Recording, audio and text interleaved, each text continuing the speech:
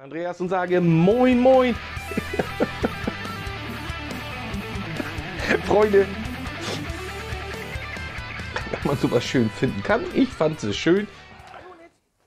Hallo und herzlich willkommen aus der wunderschönen Wesermarsch. Ja, wir haben wirklich Frost jetzt im Augenblick. Der Winter naht. Quasi zwei Grad kälter wie bei uns im Sommer.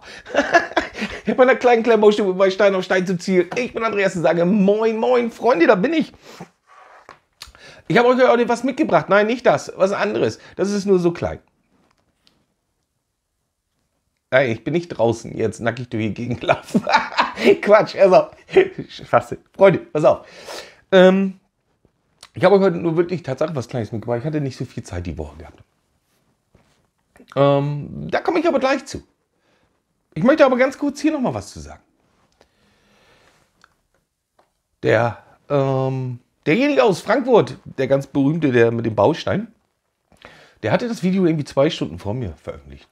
Bei seiner Reichweite ist es natürlich extremst, was die Leute dann da so äh, äh, geschrieben haben und kommentiert haben und und und. Ja, er hat ja nur, weiß ich nicht, 900.000 Abonnenten mehr wie ich oder so. Spielt spiel jetzt gar keine Rolle. Äh, also der hat das auch veröffentlicht und ähm, da waren viele erbost darüber, dass eben halt äh, Bluebricks das ohne Lizenz gebaut hat. Und so würde man ja überhaupt keine Spende oder keine Spende abgeben hier an eine DGZRS, also für Deutsche Gesellschaft zur Rettung Schiffbrüchiger. So.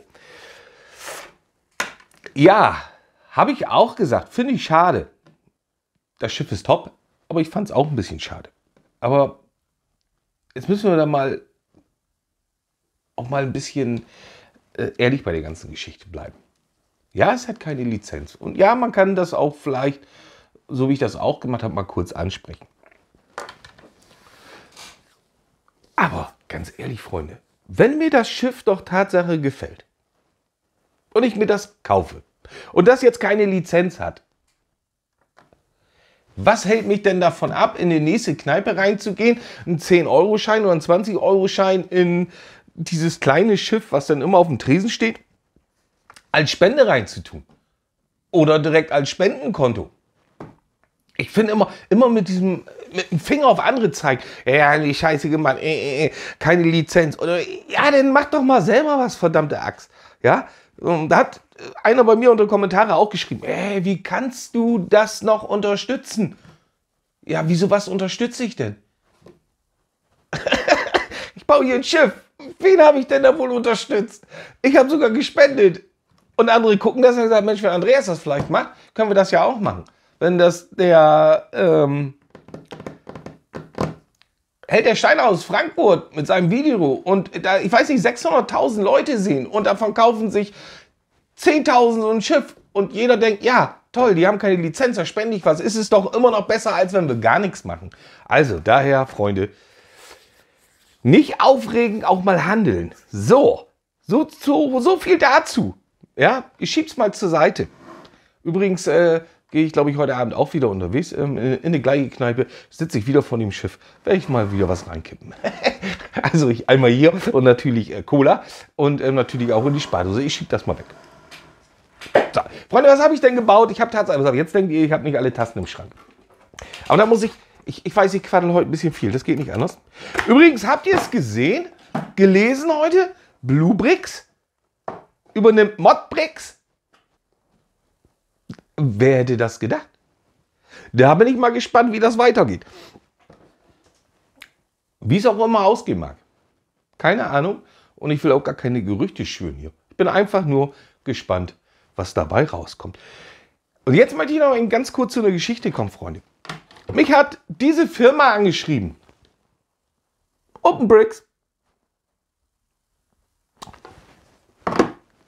Deutsche Firma. Ob ich nicht eventuell Lust hätte, mit denen Werbevertrag zu machen.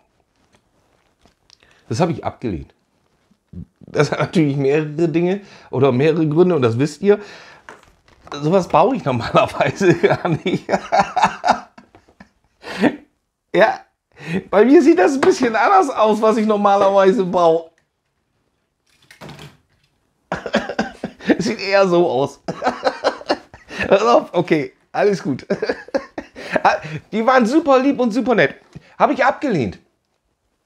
Es ist wirklich nett von euch. Äh, total. Habe ich mich auch wirklich drüber gefreut. Und dann habe ich gedacht, habe ich gedacht, Mensch, Andreas, ja, die sind gerade neu auf dem Markt. Anderen Leuten hilfst du auch immer. Und dann sagst du zu denen, äh, danke. Habe ich mir gedacht, scheiß, Punkt, Punkt, Punkt. Ich bestelle mir da einfach was von. Also, kein Werbevertrag mit denen, sondern Tatsache, ich bestelle mir einfach was davon.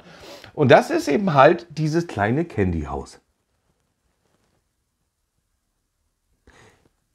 Da zeige ich euch den kurz den Aufbau von, weil ich gedacht habe, wenn es gut ist, warum nicht?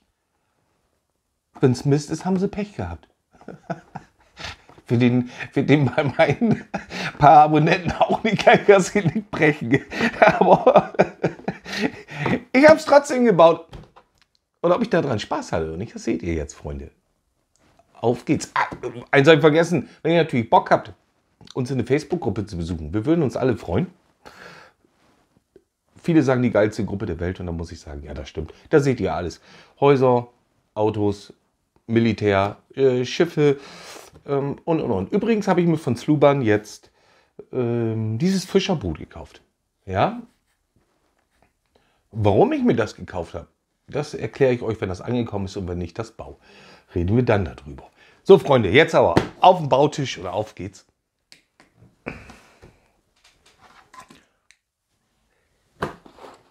Open Bricks.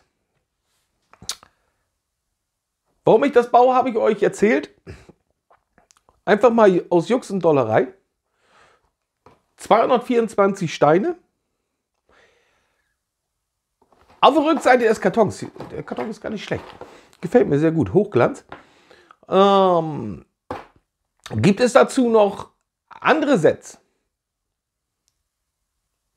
Gefällt mir wirklich ganz gut so vom Aussehen. Hat was. Natürlich 100% kompatibel mit dem den. Freunde, ich habe für das Set jetzt ohne Mist 7 Euro bezahlt. Wenn man es natürlich hochrechnet auf 224 Steine, ist das eigentlich ein normaler Preis. Klingt erstmal ganz wenig, rechnet man es um. Könnt ihr selber, muss ich euch nicht vorrechnen. Wir packen es aus und siehe an, alles sehr bunt.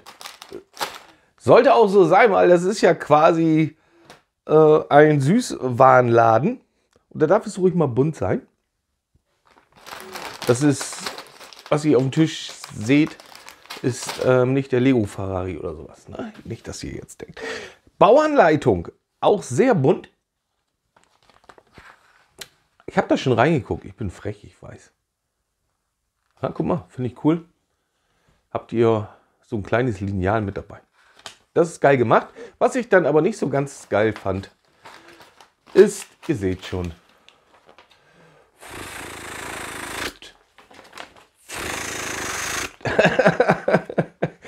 da ist wieder Augenfreundlichkeit. Tja, da werde ich mich wieder. Ja, okay.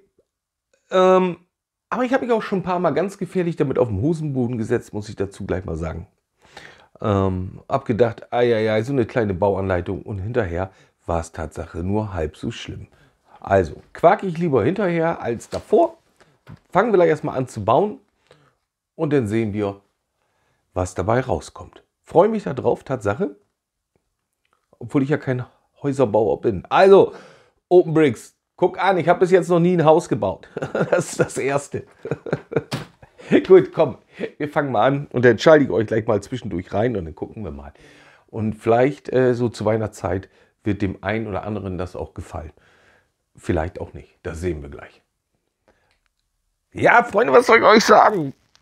Äh, muss ich schon wieder alles revidieren? Warum habe ich immer so eine große Fresse? Verdammte Scheiße. Die Bauanleitung ist gut. Verdammte Axt. oh, ich hasse mich dafür. Ist klasse. Ich habe keine Augenschmerzen. Das ist alles super farbig, super sauber gemacht.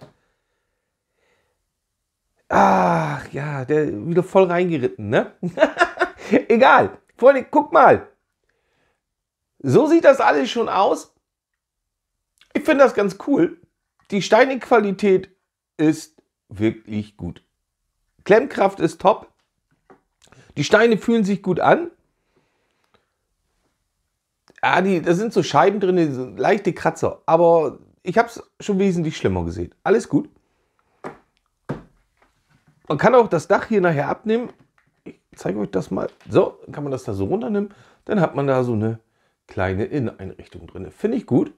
Gefällt mir wirklich, wirklich gut. Ach, guck mal, sogar eine Lampe. Hat man dran gedacht. Finde ich schön. Wenn das so bleibt, bin ich begeistert. Sehr gut. Ich möchte euch noch mal was zeigen. Ja, das ist natürlich extremst die Farben.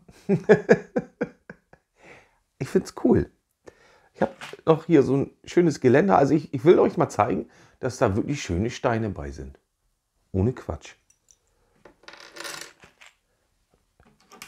Freunde, drucke. Ja. Ich denke mir mal, das wird Schokolade sein. Ich wollte vorhin schon einmal reinbeißen. Ach, übrigens, Druck. Druck. Druck. Was will man mehr? Eine schöne bunte Mischung. Super. So, Freunde, da ist dieses kleine niedliche Haus. Und das hat mir insgesamt sehr, sehr gut gefallen von Open Brick.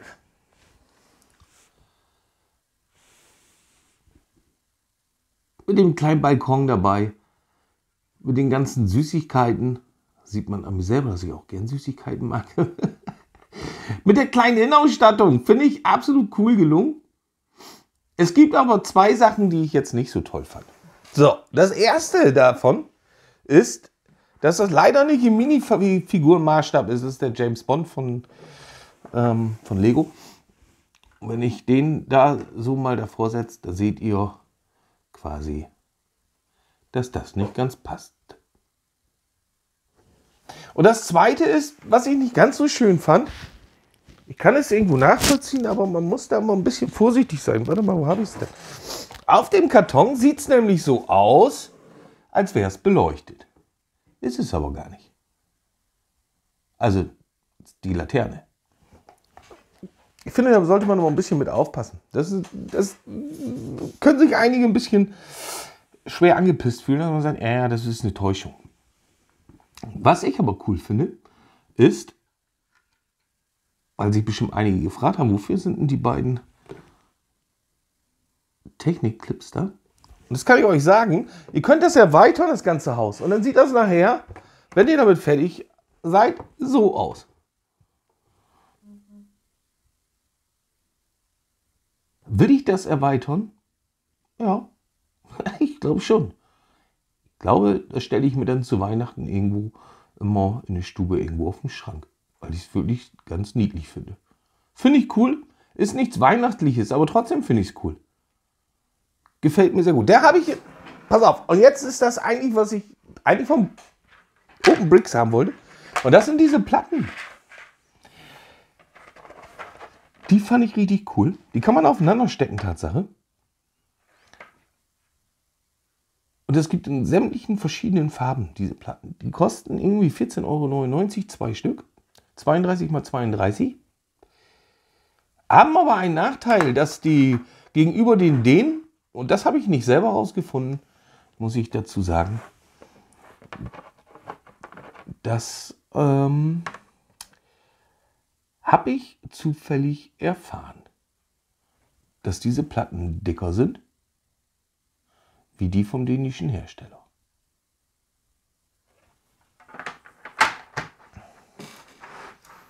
Und da sind wir schon am Ende des Videos, Freunde. So schnell ging das. Ja, ich habe heute ein bisschen viel gequatscht, das gebe ich zu. Sag mir einiges auf dem Herzen. Manchmal ist das so. Die Woche war eben ziemlich hart, wenig Zeit gehabt zu bauen. Und dann hat man das so manchmal, dass so ein so ein bisschen was nach oben kommt, wo man sagt, da muss man unbedingt mal drüber reden. Und das war eben halt mit dem Seerettungskreuzer. Freunde, das Set war cool hier von Open Bricks. Das hat mir sehr gut gefallen. Mir haben auch die Platten dazu gefallen. Für den Preis, Freunde, kann man da nichts verkehrt machen. Ich finde es absolut klasse. Mir hat Spaß gemacht. Und somit sind wir auch am Ende des Videos. Freunde, ich wünsche euch ein wunderschönes Wochenende.